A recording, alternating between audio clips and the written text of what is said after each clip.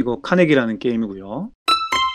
돈을 벌어서 기부를 하면서 하는데 점수를 많이 먹은 사람이 이기는데 초반에 게임을 진행하면서 얻는 점수 얻는 거는 미비예요. 끝났을 때 계산되는 게 거의 8할 9할이 끝났을 때 계산이 됩니다. 게임 예. 중간에 얻게 돼가지고 확인할 수 있는 점수보다 최종 게임 끝나고 나서 얻는 점수가 거의 7할 8할이다. 9할, 9할. 9할, 9할. 오케이, 오케이. 그리고 점수 아이콘이 부서 왼쪽 에 보면은 그 청록색 육각형 표시 있죠. 이게 회사인 거죠? 요게 지금 회사인 거죠? 제 회사? 예, 그게 각자 플레이어마다 하나씩 주어지는데요. 네. 그 회사 왼편에 보면 1층, 2층, 3층, 4층 요거 왼쪽에 보면 예, 그렇게 건가요? 숫자가 적혀 있죠. 네. 그렇죠. 그 아이콘이 바로 승점 아이콘입니다. 그리고 두 가지 승점이 있는데 네. 마우스를 저 위에 보라색 건물에 한번 올려 보시겠어요? 예, 그 숫자들은 수입을 얻을 때마다 승점이 쌓인다라고 보면 돼요. 네. 느낌표가 위에 있잖아요. 느낌표가 수입을 얻을 때마다. 음. 그리고 안에 있는 육각형 점수는 수입을 얻을 때마다 계속 먹는 점수고요. 쪽 청록색 점수는 끝났을 때 한 번 먹는 점수고요. 예, 그리고 게임 그럼 언제 끝나냐면 연표에 보시면 라운드가 0-20이 써 있죠. 그렇죠. 예, 20라운드가 지나면 끝납니다. 두 명이건 세 명이건 네 명이건 20번을 거치게 돼요. 모든 횟수가. 어. 푸에르토리코처럼 그 선이 액션을 고르면 나머지 사람들도 그 액션을 아. 모두 다 수행을 합니다. 아하. 그렇기 때문에 결과적으로 하는 액션의 수는 똑같지만 아, 오케이. 선을 고르는 횟수가 다른 거죠. 그래서 오. 두 명일 경우는 서로 10번, 10번, 뭐 세 명일 아. 경우는 꼴등 플레이어가 한 번을 못 하게 되겠죠. 그리고 그러네요. 네 명일 경우는 서로 다섯 번씩 서로 게임 다릅니다. 내에서 20번의 액션이 발동하고 게임이 끝난다. 그렇죠. 왼쪽 연표 왼쪽에 그려져 있는 육각형 네 가지 그림 있죠. 네. 그렇죠. 그 네 가지의 액션들을 고를 때마다 음. 그 트랙이 오른쪽으로 한 칸씩 가게 돼요. 요게 일로 가는 예, 건가요? 위에 그 네 가지가 가장 끝에 있는 네 칸으로 움직여지면 20라운드가 끝나는 거죠. 요, 요, 요거까지 포함한 하나. 건가요?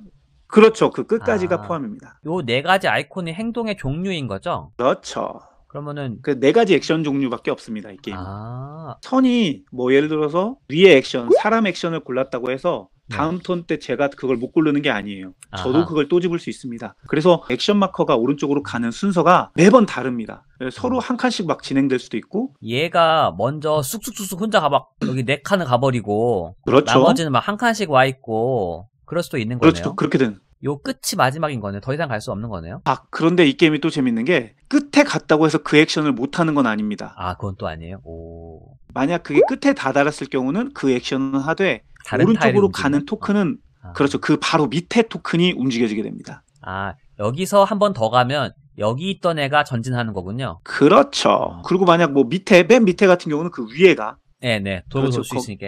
예. 첫 번째 액션은 일꾼 재배치를 하는 부서예요. 그 건물 부서를 볼 때 부서는 그 사람들이 지금 올라가 있는 다섯 개의 건물 있죠. 내 회- 사무실에. 요거, 요거, 요거, 요거요? 그렇죠. 그런 것들을 부서라고 합니다. 아하. 그리고 지금 입구에 다섯 마리는 놀고 있는 애들. 이게 저 친구들은 아. 배치를 해줘야 되는 일꾼들인 거죠. 아하. 이 일꾼들을 움직이려면 일꾼 액션을 골라야만 서로 움직일 수가 있습니다. 저 액션을 네? 고른 사람이 자신의 모든 미프를 재배치한 다음에 그 다음 사람이 재배치한다는 거죠. 그렇죠. 이제 부서에 보면 위에 아이콘들이 그려져 있죠. 요 아이콘 부서마다. 말씀하시는 거죠. 그렇죠. 그래서 그 아이콘을 보시면 아까 일꾼 우리가 액션에 봤던 아이콘하고 똑같을 거예요. 맞아요. 부서가 그 액션 아이콘과 연관성이 있다. 그럼 일꾼 놓는 액션을 수행할 때는 그 칸이 활성화가 됩니다. 그 아이콘들의 부서가 모두. 그런데 그 뜻은 뭐냐면 거기 있는 일꾼 하나당 세 음. 칸을 움직일 수 있는 거예요. 대각선으로는 못 움직이고요. 아하. 위로나 좌로가 한 칸입니다. 지금 부서에 보면은 세 칸까지 들어갈 수 있잖아요. 각 네. 일꾼들이. 네. 그래서 그 놀고 있는 일꾼들을 올려주는 겁니다. 움직여주는 거예요. 너 이래라 하고 여섯 칸까지밖에 못 움직이기 때문에 지금 두 개 오른쪽이나 위로 그렇죠. 왜냐면 기본적으로 하나는 그려져 있어요. 아예. 아, 여기 쟤는 뺄 수 없는 더- 일꾼입니다. 네. 다섯 마리의 일꾼을 나눠 가지고 여섯 칸씩 움직이면 되는 거죠. 제가 한번 예를 들어 볼게요. 제가 행동을 했어요. 여기 두 명 들어가 있으니까 총 여섯 칸을 움직일 수 있는데 한 마리를 여기로 가로로 한 칸 보내고 한 칸 또 보내고 한 칸 보내고 또 한 칸 보내고 두 칸 남았죠 그러면은 얘를 일로 보낸 다음에 한 번 더 위로 올려 보낼 수도 있는 거죠. 그렇죠. 그렇게 되면은 다 쓴 거죠. 지금 그렇죠. 그때 부서 안에다가 아니라 그 위에 공간에다도 미리 놓여둘 수가 있습니다. 빈 곳. 그렇죠. 빈 곳에도 놓을 수 있다. 그거는 이따가 설명드릴게요. 왠지 그리고 일꾼을 그렇게- 깔리는 순간 즉시 일할 수 있는 그렇죠. 역시 게임을 해보셔가지고 그러니까 미리 재배치를 해놓고 네네. 부서를 짓는 액션을 할 때 거기 놨던 애들은 바로 쓸 수가 있는 이득이 있는 거죠. 부서를 배치한 뒤에 그 일꾼들을 일을 시키려면 밑에 칸에 있는 돈을 지불해야 됩니다. 그런데 왼쪽에 있는 두 개는 기본적으로 공짜 부서고요. 처음에는 일꾼이 눕혀진 채로 움직여졌다가 돈을 내야 그 친구를 세워서 활성화를 아, 시킵니다. 오케이. 일어나 있는 애들은 쓸 수 있는 일꾼, 누워 있는 친구들은 못 쓰는 일꾼이라고 생각하시면 돼요. 아, 두 번째가 이제 부서를 건설한 액션입니다. 저 부서랑 관련된 건물은 두 가지가 있어요. 두 번째 칸에 있는 것은 음. 그 부서를 가져온다라는 뜻이에요. 그 일꾼 놓여져 있는 개수만큼 부서를 건설할 수 있습니다. 네. 그러니까 지금 한 마리가 있으니까 하나를 건설할 수 있겠죠. 부서를 건설하는 비용은 음. 자 위에 그림에 놓여 있지만 빈칸에 일꾼이 눕혀져 있으면 하나, 아하. 없으면 두 개입니다.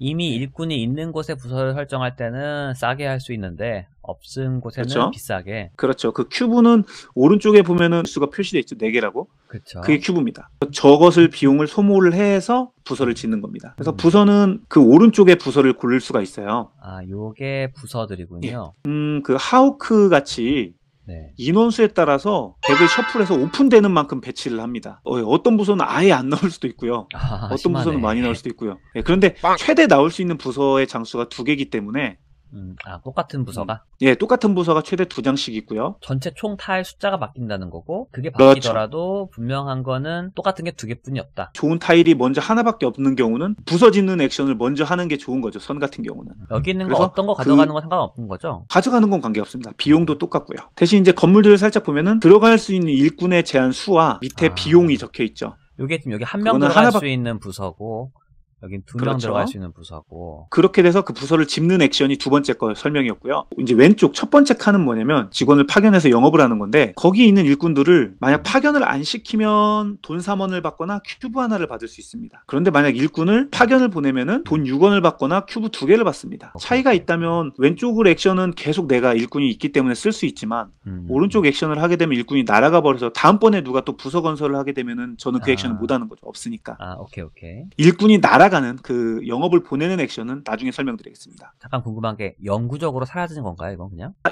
영구적으로 아니고 그 아이콘이 오른쪽 두 번째 칸에도 있어요. 어 여기인가요? 그렇죠. 거기도 있죠. 그 원형이라고 하면 이제 그 지도를 한번 볼까요? 어. 왼쪽에 West, Midwest, East, 밑에 South. 그 왼쪽 색깔에 동그라미 표가 있어요. 아 요거요? 철도길 옆에. 그렇죠. 거기. 그곳에다가 일꾼들을 놓는 겁니다. 아 여기 일꾼 표시가 있네요. West나 Midwest, East, South 이 네 곳 중에 하나의 일꾼을 보내는 거죠. 어느 지역으로 일꾼을 일을 시킬 건지. 요 네 개 중에 한 군데 보내는 거군요. 그렇죠. 그 네 군데 중에 하나를 보내면서 돈 6원을 받거나 큐브 두 개를 받는 겁니다. 아하. 그러면 그 일꾼은 계속 남아있게 되고요. 음, 음. 그 일꾼에 놓여지는 개수에 제한은 없습니다. 내가 먼저 놨건 상대가 먼저 놨건 우리가 서로 섞이건 관계없이 모든 일꾼들을 그쪽에 놓을 수 있어요. 예, 그리고 이제 세 번째 액션을 보겠습니다.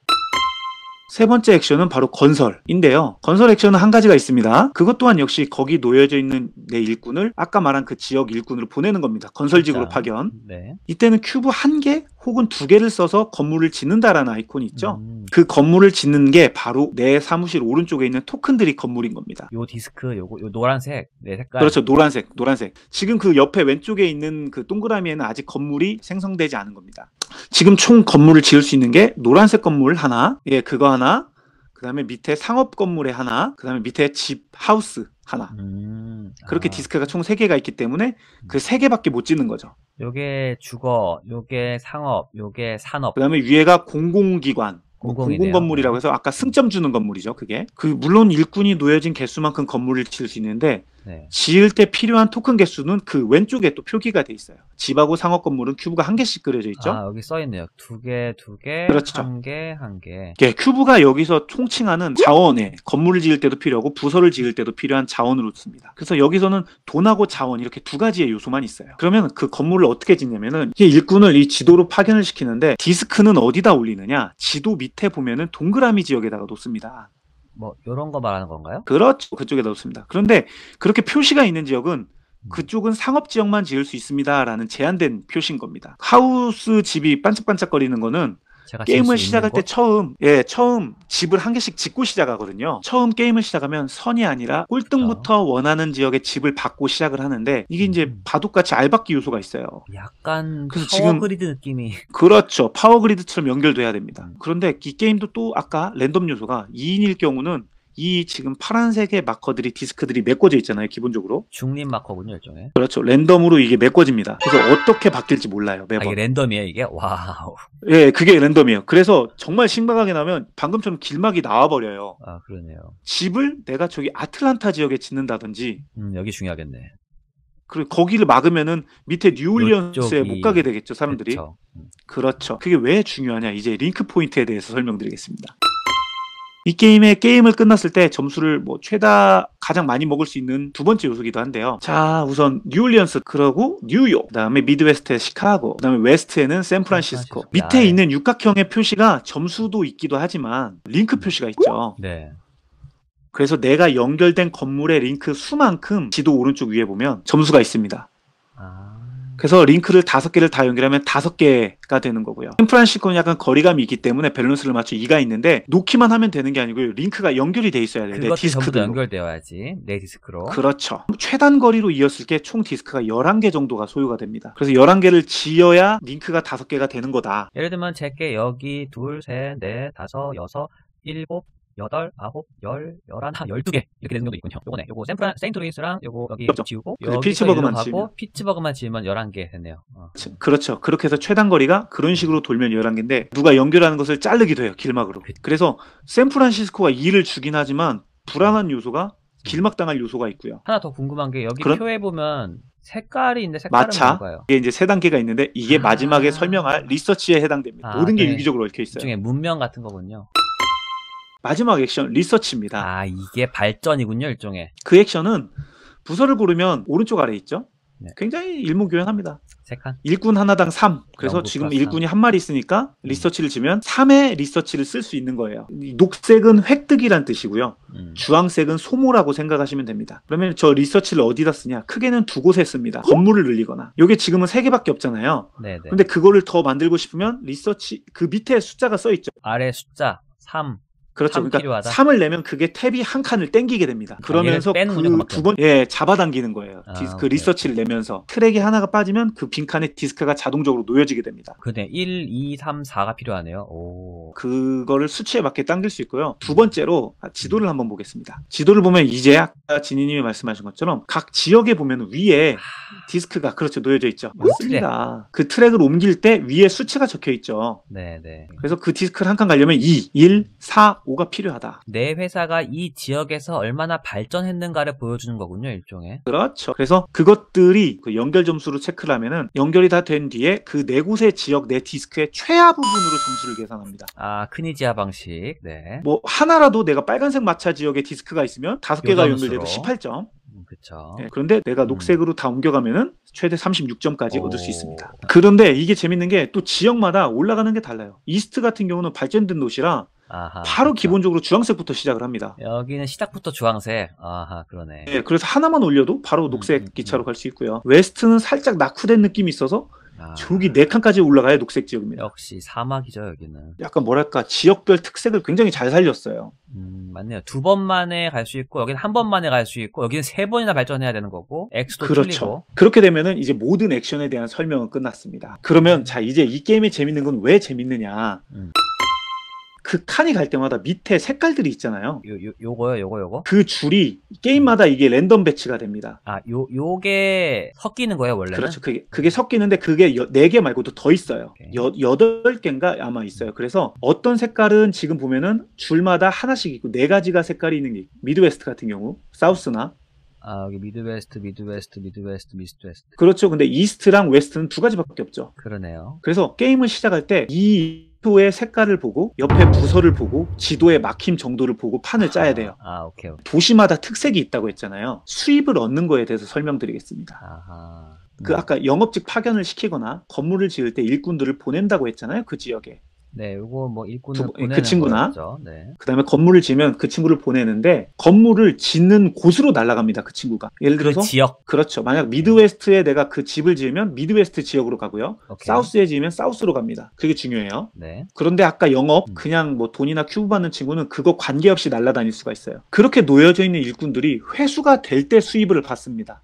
음, 갔다 돌아오면서 돈을 갖고 오는 거군요. 돌아온다는 건 언제 돌아오느냐? 그 연표에 보면 그 색깔이 지정이 될 때입니다. 아, 요 색깔이 남쪽 지역에 갔던 내 일꾼이 돌아오는 타이밍. 그렇죠. 그러니까 사우스에 내 일꾼이 남아 있어야 돼요. 이미 그렇죠. 있었어야 돼요. 그렇기 때문에 미리 한 수 앞을 계산해서 일꾼들을 배치를 해놔야 되는 거죠. 음, 타이밍이 궁금한데 이 액션을 하고 나서 토큰이 이동하는 건가요? 액션이 맨 마지막이고요. 음. 수입을 얻는 액션이 처음입니다. 선이 이 액션을 선택하면 그 즉시 이 토큰이 움직이고 그에 따른 아래에 있는 이- 효과가 발동되고 그 다음 이 액션을 그쵸? 선부터 한다는 거죠. 그렇죠. 그리고 수입을 발동할 때도 뭐 안 해도 돼요. 선택권이 주어집니다. 일꾼을 네. 회수하실 거냐, 음, 음, 음. 혹은 두 마리가 있으면 다 회수할 거냐, 하나만 회수할 거냐. 한번 또 다시 부서를 볼까요? 부서를 지으면 건물을 지으면 그 빈칸이 보이겠죠. 예, 디스크들이 빠지면은 방금처럼 이렇게 칸들이 빈칸으로 보일 거 아니에요. 당겨져 있으니까. 그래서 수입을 얻을 때는 내 그 보여지는 모든 걸 얻습니다. 예, 이때 건설 특징을 설명드릴게요. 그럼 맨 위에 공공기관은 음. 이때 승점을 얻는 거예요. 보라색 건물. 아, 이, 아까 수입 얻는데 요거 수입 얻는다고 했으니까 예, 수입을 얻을 때 거기가 비어져 있으면 승점을 얻습니다. 그것도 지어야 되죠. 큐브 두. 개로. 리서치로 살을 땡겨놓고 음, 음. 큐브 두 개를 써서 건물을 지어놔야만 수입이 얻습니다. 아, 두 가지가 선행돼야 되죠. 예, 그 다음에 산업 건물은 큐브를 줍니다. 그 다음에 밑에 상업 건물은 당연하지만 돈을 줍니다. 돈을 주는 곳. 근데 돈을 주는데 첫 번째는 이 2달러, 이거, 2달러, 2달러인데 마지막 칸은 3달러를 줘요. 어, 그러네요. 하우징은 돈을 주지만 처음에 소소하게 주네요. 재밌는 처음은 안 줘요. 그 기본 건물이기 때문에. 아, 하나 처음에 짓고 시작하니까 그저 하나 짓고 시작하니까 그냥 빈칸으로 나와 있는 거고요. 만약 집을 두 개 지으면 수입 받을 때 일꾼을 늘리거나 돈을 받거나 할 수 있습니다. 이게 게임이 시작할 때 그 10개 플러스 한 개의 일꾼을 갖고 시작하는데 예, 일꾼 5개가 밑에 표시돼 있죠. 그게 대기돼 있는 일꾼이에요. 아, 지금 따로 다섯 명이 더 있는 거군요. 아까 집같이 일꾼을 늘리는 액션을 했을 때 그 하나가 더 늘어나는 거예요. 네, 전체 하나가 일분이 하나 늘어난다. 그렇죠. 그렇기 때문에 남들은 10개로 사용할 때 나는 뭐 15개로 최대 운용을 음, 할 음. 수가 있는 거죠. 음, 그렇다는 말은 게임 내에서 최대 일꾼의 수는 15명인 거네요, 그러면. 맞습니다. 최대 그리고 15개입니다. 그려진 거 빼고. 이거는 일꾼이 하나가 돌아오든지 두 명이 돌아오든지 세 명이 돌아오든지 무조건 수입은 한 번만 받습니다. 그려진 거 한 번씩. 그런데 이제 지도를 보겠습니다. 지도를 보면 일꾼이 돌아오는 개수만큼 차이가 있는 게 그 지역 디스크에 보면 밑에 또 획득하는 자원들이 있어요. 요 돈 표시 말하는 거죠. 그렇- 쉽게 아까 사우스였으니까 사우스에 내가 일꾼이 두 마리가 있었어요. 그러면 그 두 마리를 다 회수하면은 내 디스크 밑에 있는 1달러를 두 번 받는 거고요. 요걸 두 번. 아하. 중요한 거는 이때 일꾼이 한 마리라도 돌아와야 수입을 받는 액션을 할 수 있는 거예요. 일꾼이 그 지역에 하나도 없으면은 난 수입도 받을 수 없다. 그렇죠. 그래서 일꾼이 한 명이라도 돌아와야 수입을 받고 음. 일꾼이 돌아온 개수만큼 내 디스크가 놓여진 밑에 자원을 얻는다. 그래서 지금 또 하나씩 설명드리면 West는 보면 특징이 세 번째 칸을 보면 큐브를 주죠. 이 승점을 주죠. 이제 거기서 승점 돌아올. 때마다. 그리고 왜 Midwest는 보면은 세 번째 칸에 연구를 주죠. 플러스 그렇죠. 3을 바로 쓸 수 있습니다. 그리고 큐브 두 개를 주죠. 예, 그다음에 East 지역은 일꾼이 나옵니다. 여기서는. 아, 역시 인력이 풍부한 곳. 그다음에 승점 주고요. South는 역시 부유한 도시죠. South. 아, 돈이 돈을 7원. 줍니다. wow.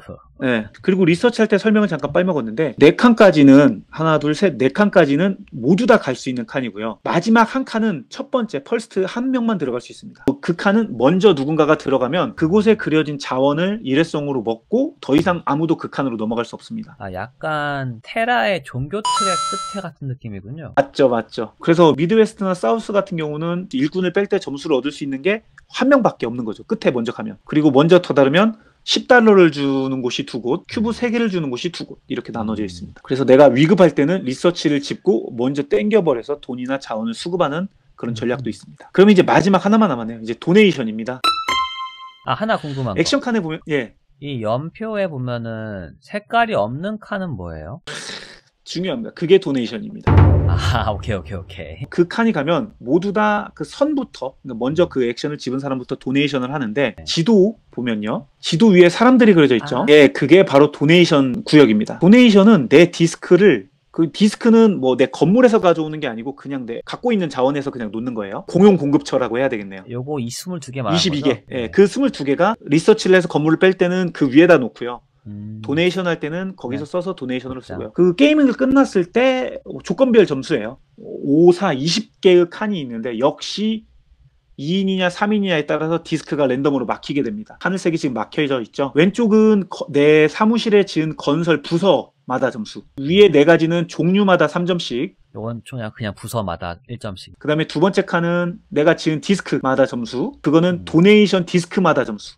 맞습니다. 기차 트랙당 3점. 내 자신이 기차 트랙까지 발전한 도시당 3점이 되는 거고. 그게 가장 쉽고 무조건 해야 되는 거기 때문에 거의 1pick이라고 보면 돼요. 그 자리가. 모든 사람들이 다 한 자리에 한 명만 들어갈 수 있을 것 같은데 맞습니다. 선타가 그- 있습니다. 위 아래 순서는 상관없는 건가요? 그냥 내가 하고 싶은 거 네, 하는 건가요? 관계는 없고요. 어느 지역이든지 가- 아무 지역에다가 먼저 오케이. 놓으면 돼요. 그 위에 것들은 내가 이제 건물을 짓다 보면 디스크가 빠져 있을 거 아니에요. 그 종류에 따라 가지고. 그 건물 지은 것마다 남아 있으면 안 되고요. 그걸 지었어야 돼요. 건설을. 오케이 오케이. 그다음에 세 번째 트랙은 남은 자원들을 점수를 얻는 건데 그냥 7점. 내가 게임 끝났을 때 큐브가 남아 있는 거당 2점, 돈 남아 있는 거 5원당 2점. 밑에는 세트로 돈 5원과 5원이랑 큐브. 큐브 한 개당 4점. 그거는 내 부서에 일꾼이 세워져 있는 거당 끝났을 때 1점. 일하고 있는 일꾼당 최대 그런데 각 지역은 무조건 최대 12점이 max예요. 아, 요 디스크 한 칸에 대한 점수 최대는 12점. 아, 여기 써 있네요. 12점 max.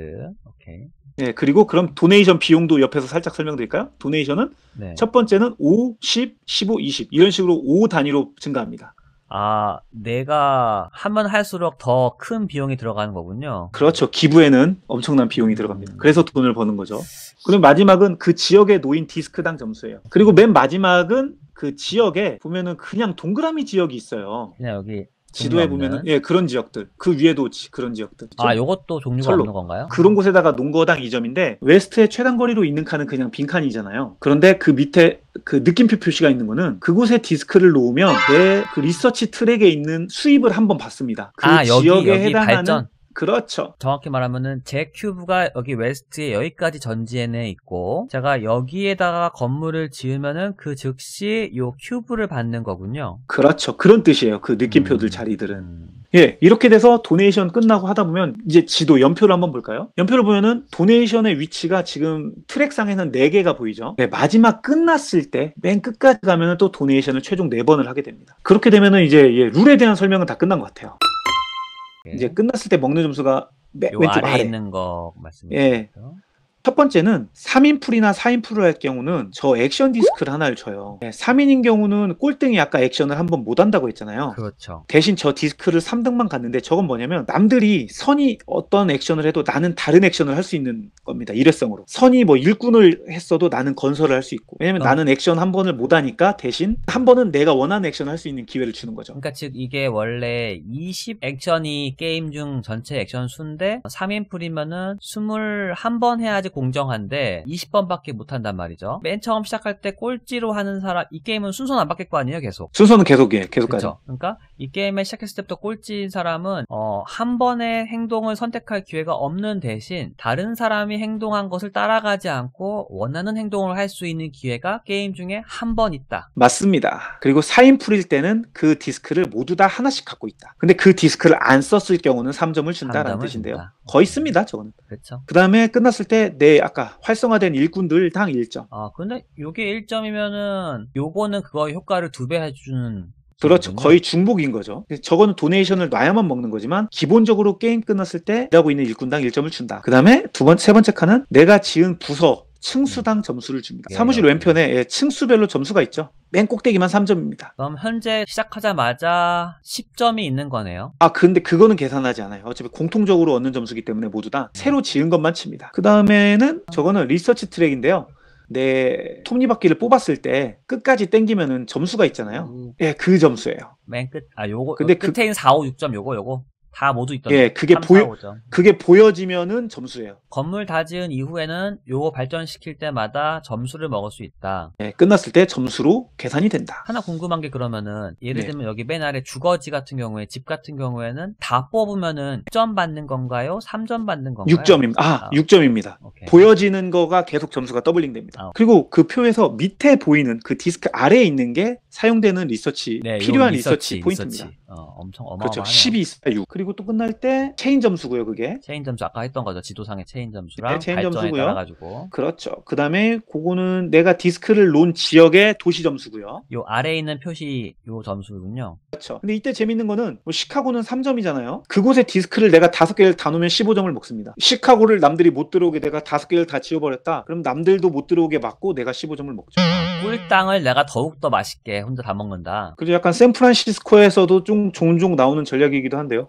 아, 여긴 링크 두 개 되기도 하고 예, 링크 두 개짜리니까 남들이 그쪽을 지을 것 같을 때 내가 막아버리죠. 대신 샘플화는 딴 데로 뻗어나가기 좀 힘들겠네요. 그런 위험이 있어요. 그래서 초반부터 못 갑니다. 많이. 음, 건설력이 좀 있어야 되죠. 덴버쯤에 가서 일단 어, 근데 정말 레이지님이 잘 말한 게 처음에 집을 놓는 위치가 포석이 음. 그래서 덴버, 캔자스 시티 이런 곳이 음. 굉장히 중요한 포석이 돼요. 어디로든 뻗을 수 있는 이 중간 지역들 약간 그죠? 뭐 피츠버그나 피츠버그나 아틀란타, 음. 아니, 덴버 이런 곳이 약간 요충지가 됩니다. 그래서 그런 것들을 좀 보고 들어가야 되는 요소가 있고요. 그 다음에 마지막 이제 donation 점수. 그게 가장 크게 먹는 점수죠. donation에 올라간 그 디스크마다 점수를 하나하나 하나 다 음. 계산을 합니다. 그래서 최대 12점씩 6개 먹으면 뭐 72점을 먹으니까요. 이 게임이 평균 뭐 많이 먹으면 200점도 나고 못 먹으면 80점? 뭐 이렇게도 끝나는 경우도 있는데 80에서 막 200점까지 왔다 갔다 하는군요. 예, 왜냐면 근데 이게 하이스코어가 의미 없는 게 제가 먼저 보게도 말했지만 음. 상대가 어떻게 견제를 하느냐에 따라서 좀 달라요. 서로 점수를. 부유하게 가느냐 그렇죠, 그렇죠, 그렇죠, 그렇죠. 막 서로 서로 견제를 막 하면서 가느냐에 따라서 나는 리서치 필요 없는데 자꾸 저 친구는 리서치 짓고 음, 음, 음. 너는 사람 필요 없는데 난 자꾸 음. 사람 짓고 해서 20라운드가 그냥 소모되는 경우가 있어요. 그러니까 마치 푸코에서 다들 생산 안 하면은 갈수록 서로 다 그치. 상품 없어가지고 쫄쫄 굶으면서 하는 네. 플레이가 있고 계속 생산 네. 잡고 계속 상인하면서 마음껏 부유하게 하는 상황도 있고 맞아요. 근데 푸코랑의 차이는 푸코는 종료 트리거가 있기 때문에 그쵸 부유하게 가지 않아도 음, 어느 음, 순간에 term이 좀 오긴 온단 말이죠. 그쵸 근데 얘는 근데 카네기는 카네기는 20라운드가 한정됐기 때문에 그렇죠. 거지인 채로 끝날 수가 있어요. 그렇죠 그렇죠 그래서 선수가 일정하니까 예, 그래서 그 상황 내에서 내가 최대한 얻을 수 있는 점수가 뭘지를 생각을 해야 돼요. 왜냐면 점수를 얻는 루트가 다양하기 때문에. 음, 음. 부서에 대한 액션 설명을 제가 이제 못 드렸는데, 그래서 이제 그 기능들이 굉장히 이제 또 다이나믹한데, 윗줄은 일꾼 액션들. 딱 색깔, 아이콘이 좀 명료하죠. 아 이게 구분돼 있는 거군요 위에는 일, 예, 밑에는 예, 영업직, 밑에는 건설직, 맨 마지막은 리서치. 아 그런데 여기 아이콘별 됐구나 여기 일꾼 액션 때 발동되는 부서들과 그렇죠. 영업 때 발동되는 거 건물 예, 그렇기. 때문에 그 건물을 지으면 액션을 집었을 때 그 부서들이 더 많이 활성화가 되는 거죠. 한 가지 질문이 있습니다. 부서를 보면 오른쪽 끝에 것들은 전부 다 색깔이 다르거든요. 아, 약간 특수한 느낌의 부서들인데요. 그거는 그거는 두 개 있을 경우도 있어요. 특수하다고 무조건 한 개가 있는 건 아닙니다. 지금 한 네. 개가 깔렸을 뿐이지. 음, 음, 이건 운이고 잠깐 설명. new lobby는 그걸 지으면 입구가 그쪽으로 나와요. 일꾼 배치가. 그 가로 세로 이동하기 좀 용이하게 편하게. 약간 티칼에서 그렇죠. 원래- 베이스 원래는- 캠프 하나 늘리듯이 아, 그렇죠. 그리고 그 밑에는 부서를 지을 때 놀고 있는 일꾼을 바로 움직이게 하는 친구고요. 바로 붙이는 거고. 그 다음에 밑에 세 번째도 좀 많이 쓰는데요. donation 돈을 5, 10, 15, 20이 아니고 3, 6, 9, 12로 깎아줍니다. 어, 겁나 좋은 녀석인데요. donation 많이 할 경우에는. 네, 눈치채셨죠? 맞습니다. donation이 중요하기 때문에 그게 한 개 있으면 그 친구들 거의 one pick 느낌이죠. 어, 완전 이 밑에는 이제 리서치 그 선로의 트랙을 일씩 깎아줍니다 칸당 근데 최소 1은 내야 되고요 그렇죠 그게 갈 때 위에 리서치가 뭐 2, 1, 4, 5 써 있잖아요 무조건 최소한 1은 내야 돼요 아, 네 대신 칸당은 깎아준다 하나 더 궁금한 게 여기 오른쪽 예. 위에 숫자가 써 있는데 이거는 게임 네? 내에 이, 이 타일이 몇 개 있나일까요? 아닌가? 다른가? 맞습니다 맞습니다 거기에 타일이 한 개 있다는 겁니다 누군가가 그 타일을 지으면 거기는 빈칸으로 나오는 거죠 그러니까 지금 여기는 지금 세 종류 세 장이 나왔고 여기는 네. 세 종류 세 장이 나왔고 여기는 세 종류 네 장이 나왔고 여기는 그쵸? 네 종류 여섯 장이 나온 거네요. 지금 운 운이 이렇게 그렇죠 된 거네요. 그렇죠. 예 그래서 그게 처음 세팅할 때 뭐가 몇 장씩 얼마나 나올지 모르는 거죠 근데 실제로 어, 게임 내 모든 가지수는 16가지가 단가요? 어 그렇습니다 아, 오케이. 근데 이 게임에서는 16가지가 단데 이번에 킥스타터가 스트레치 골이 열리면서 종류가 더 추가가 되긴 했어요 아, 오케이, 오케이. 그건 확장 요소군요, 일종의. 예, 예, 근데 아레나에서는 16개가 무조건 고정이다. 그래서 그 16개의 종류만 알고 있으면 뭐가 나와도 쉽게 할 수 있습니다. 이 종류에서 나오냐 안 나오냐, 한 장이냐 두 장이냐가 랜덤인 거네요. 그렇죠. 그 아까 이제 부서에다가 일꾼을 넣으면은 여기 아래 네. 비용이 나간다 했잖아요. 여기에 일꾼이 들어올 때 딱 들어가는 일회성인가요? 어, 매회 1회라고 봐야 되겠네요. 그러니까 그 일꾼이 집에 갔다가 오면 다시 배치를 해야 아, 될거 그쵸, 아니에요. 그쵸, 그쵸. 그러니까 비어 있는 칸에 일꾼이 들어오는 순간 비용이 나간다. 선택이다. 눕힐 수도 있고, 눕힐 수도 눕히면, 있고 눕히면 그리고 안 내는 거고, 세워서 놓고 싶으면 눕히면 안 내야 내고 된다. 그렇죠, 그렇죠. 그리고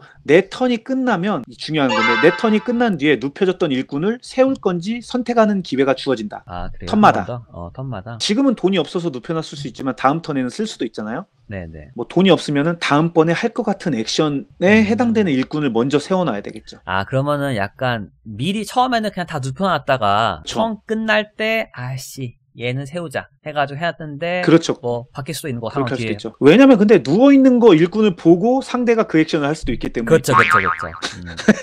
예, 그럼- 약한 곳을 계속 찌르는 게임입니다. 그럼 하나 더 질문. 어, 예? 요 미프를 아까 인, 요 인사 이동을 할 때 가로 세로만 이- 이동할 수 있기 때문에 제가 얘를 여기 여기로 이동시켰을 때 여기도 돈이 들어가나요? 안 들어가겠죠, 그건? 아, 이 이동할 때는 돈이 안 들어갑니다. 도착 지역만 중요하다는 거죠? 그래서 도착 지역에서 일꾼을 세울 때만 돈이 들어간다. 아, 오케이. 요거 지금 아래 자동 플레이어는 지금 2인 플이어 가지고 뭔가 있는 건가 보군요, 이거는. 어, 1인 플을 하신 것 같은데요? 자동 플레이어가 있는 건? 아, 지금, 아, 엔드류가 풀풀. 1인, 아, AI구나. 아, 그러네요. 예, 그래서 솔플을 하셔 가지고 지금 아, 이게 tutorial이 솔플로 돼 그래서 있더라고요. 그런 액션들이 주어지는데 어, 요소들은 다 설명드린 것 같아요. 예, 그래서 타이밍이 중요하다 이 게임은 왜냐면은 일꾼 회수 타이밍을 놓쳐버리면 10개밖에 뭐 최대 15개밖에 없는 일꾼인데 일꾼이 놀게 되거든요. 그래서 연표가 계획표라고 하는데 그걸 보면서 계획을 좀 잘 짜야 되는 게임입니다. 요, 연표가 되게 중요하겠네요. 예, 그래서 지금 딱 봐도 약간 Midwest는 부서를 짓고 나면 처음에는 일꾼이 없을 거니까 수익이 약간 뒤에 밀려 있는 걸 볼 수 있죠. Midwest는 Midwest 다. 후반에 수익을 먹을 것이다. 그러니까 일꾼 배치는 거기다 안 하는 게 좋다 최대한. 그래서 일꾼은 요 남부, South나 East 쪽이 그렇죠. 좀 유용하겠군요. 그렇죠. 그럼 초반에 그쪽 일꾼이 회수될 거라고 생각하면 리서치를 집었을 때 리서치 트랙을 올리는 게 음, South나 West 지역을 먼저 올리는 거다. 약간 확실히 푸코 느낌이 있네요. 상대방 걸 굉장히 잘 봐야 되는 게임일 것 같아요. 예, 맞습니다. 상대를 보면서 선택을 하고 음. 내 계획대로 되는 게임이 아니에요. 난 이거 해야지가 아니라 어, 그쵸. 상대 아, 예, 상대가 저거 하네? 어? 그럼 난 이거. 너 그거 해? 음, 음, 음. 어, 너 이렇게 해놨어? 그럼 나 이거. 약간 이런 뭔가 푸코를 봤을 때도 어 내가 이걸 하면 상대 다음 상대가 저걸 하니까 이득을 보겠네. 그렇다면 내가 이걸 하지 그쵸. 않고 상대방이 싫어할 행동을 고르게 되는 맞아요, 맞아요, 맞아요. 그런 게임이죠. 나만 네. 꿀빨 게 뭘까를 계속 고민하겠네요. 그렇죠. 나만 꿀빨 수 있는 게 뭔가. 그런 비대칭 요소가 부서를 가져갈 때 음. 어떤 사람은 못 가져가고 어떤 사람은 가져가고 이런 비대칭이 있으니까 그렇죠. 그 친구가 이득인 걸 가져가면은 그 액션을 안 하려고 하는 거죠. 감사합니다. 그렇습니다. 아, 이상 카네기였습니다. 수고하셨습니다. 어, 수고 많이 했습니다. 네, 재밌게 알겠습니다. 즐기시고요. 혹시 하시다가도 궁금한 일 네. 있으면 또 말씀해 주세요. 좋습니다. 예. 고생하셨어요. 그러면 감사합니다.